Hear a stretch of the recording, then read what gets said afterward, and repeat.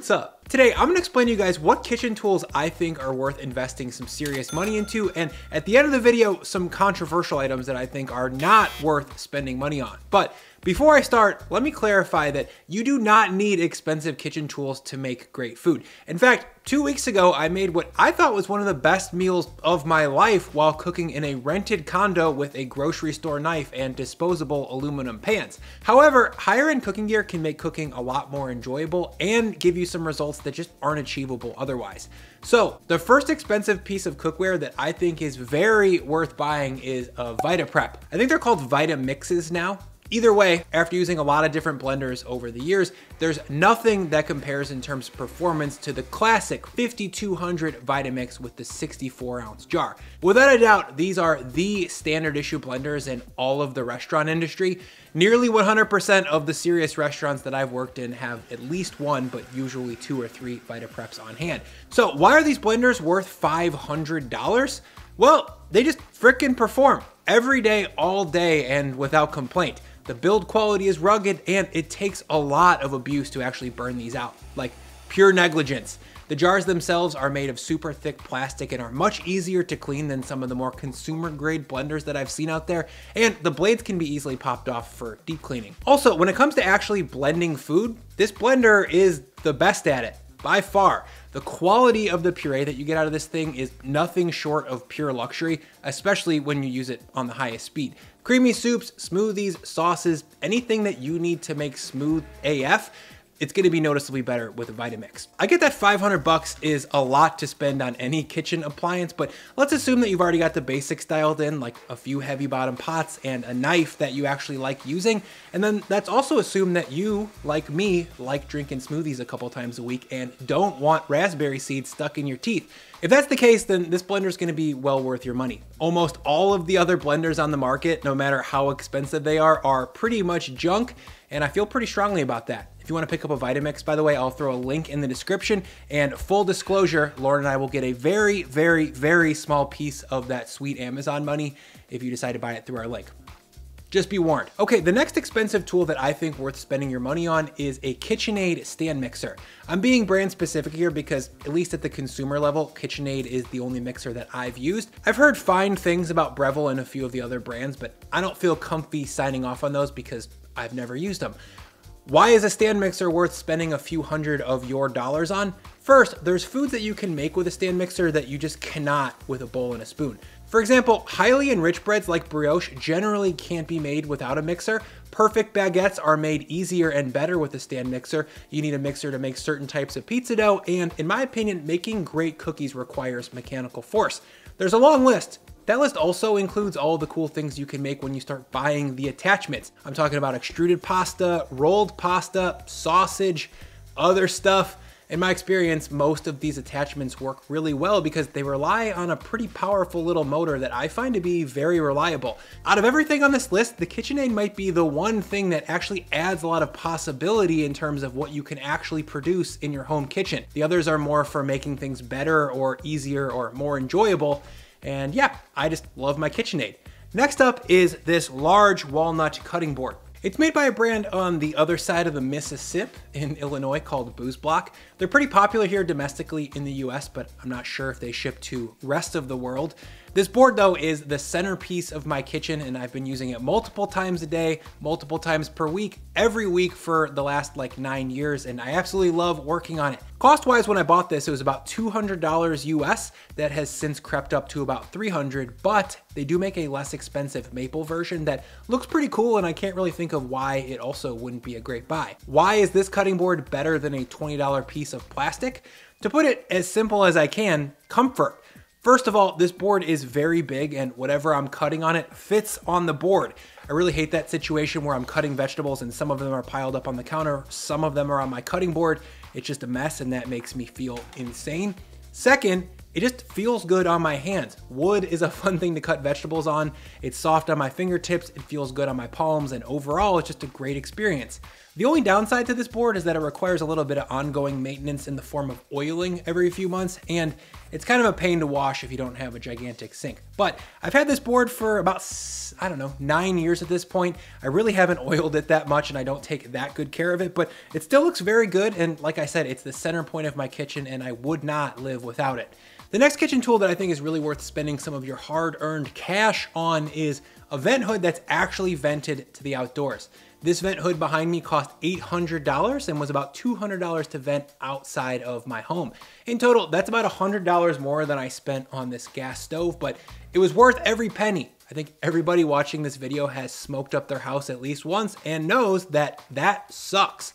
A surefire way to make cooking not fun at all is to be running around your house turning off smoke alarms while possibly burning the thing that's creating all of that smoke. Not to mention that smoky kitchens make all of the fabrics in your house stink and they leave a very yucky film of vaporized grease on pretty much every surface. A good powerful vent hood like this one deals with almost 100% of those problems. To clarify, when I say good, I mean at least 600 CFM or cubic feet per minute, preferably more, and the hood needs to be vented outside of your house. Most of the hood vents that are above your stove right now or in your microwave just shoot hot air out the front or worse, back inside of your cabinets. This is the first time in my life where I've cooked at home under a hood with a meaningful draw and all I can say is that it makes a huge difference. I know it's expensive, but it really makes cooking at home a lot more enjoyable and if you can afford it, it's worth every penny. The last thing that I think is really worth spending some money on if you're getting more serious about cooking at home is a nice Dutch oven. What do I mean by nice? Le Creuset, basically. I'll admit that I haven't used every nice Dutch oven on the market, but I just know that Le Creuset is a classic brand for a reason. Their enamel coating lasts forever, and if you take care of it and don't abuse it, Le Creuset guarantees it for your whole lifetime. Now, can you in the short term achieve almost the exact same results with a $40 Dutch oven? Of course, and if you're on a really tight budget, I would say go ahead and get something from Walmart or Target, but just know that the enamel coating inside will probably disintegrate in like two, maybe three years max, especially if you use it over high heat daily, like I do. In contrast to that, this Le Creuset Dutch oven cost about $350, so you know, like 10 times more expensive, but to me, it's an heirloom piece of cookware that I expect to last for most of my life.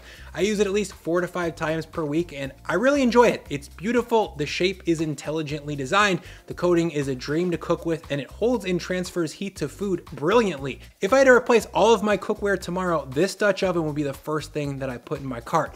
I love it, and I think you would also probably love to have one.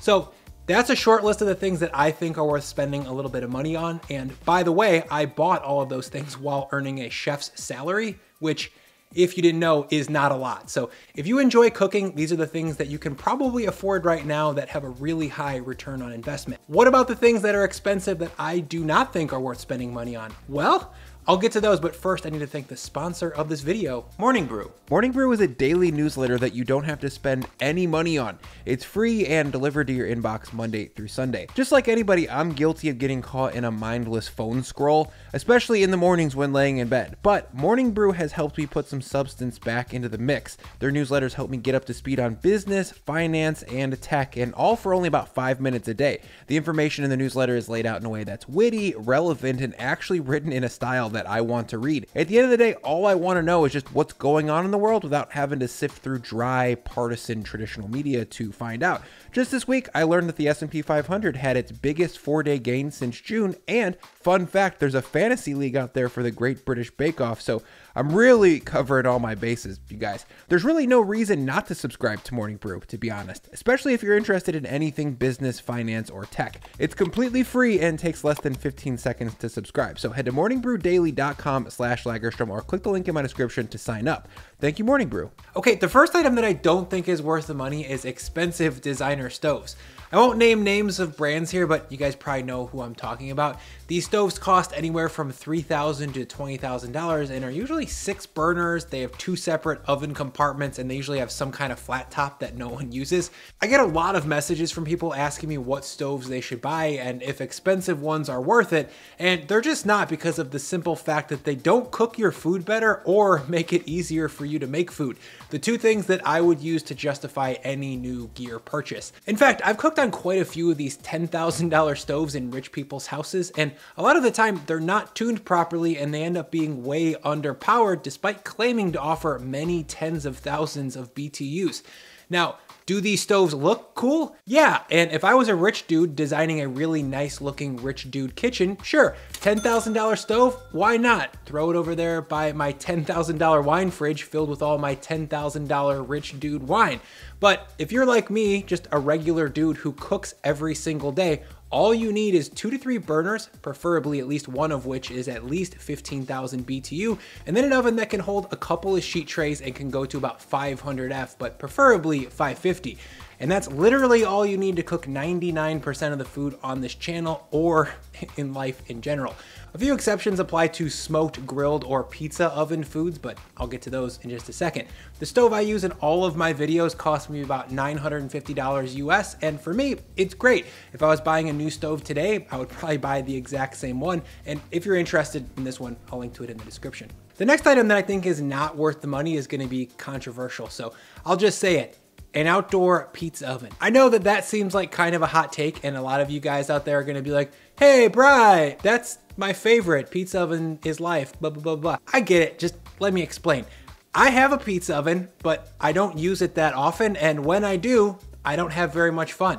The temperature regulation is super fickle. You have to turn the pizzas almost constantly, and I don't really have the setup outside where I can make the pizzas next to the oven. Instead, I have to make them indoors and then one at a time bring them outdoors to cook them that severely limits my pizza output. I think we all envision having a nice rustic pizza party in our backyards with some wine and some buddies, and it's all very romantic, but for me, the reality of it all is just way less cool.